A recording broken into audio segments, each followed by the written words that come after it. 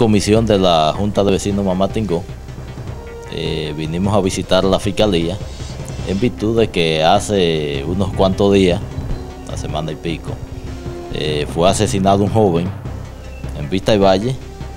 Eh, se ha dicho que fue en el sector Mamatingó, segunda etapa, cosa que desmentimos, no fue allá.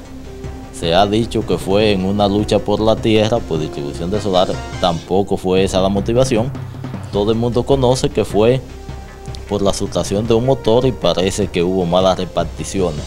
Eso es algo que sucede a diario, no solo en Valle, sino en San Francisco de Macorís.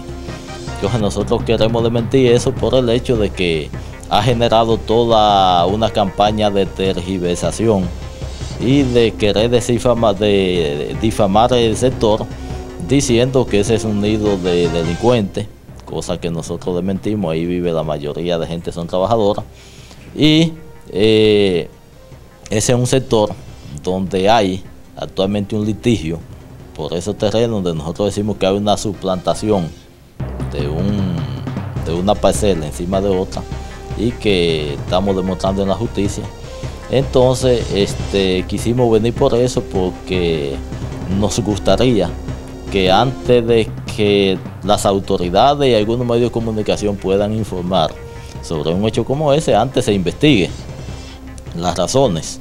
Eh, sí queremos decir que el problema de la delincuencia en ese sector eh, tiene su razón de ser en la misma que generalmente producen todos esos hechos en la sociedad.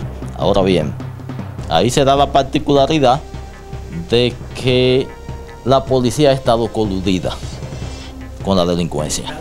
Coludida con la delincuencia. Eso debemos decirlo.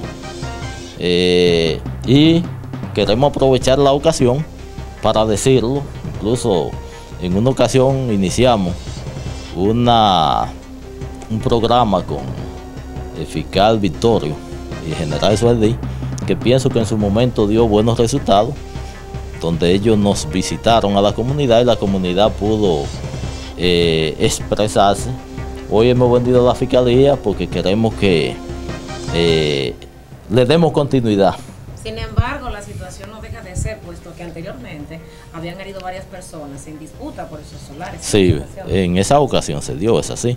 Y a raíz de eso fue que llevamos incluso ya eh, a General Suedí y al fiscal Victorio y se tomaron un conjunto de medidas que este, dieron al traste con esa situación.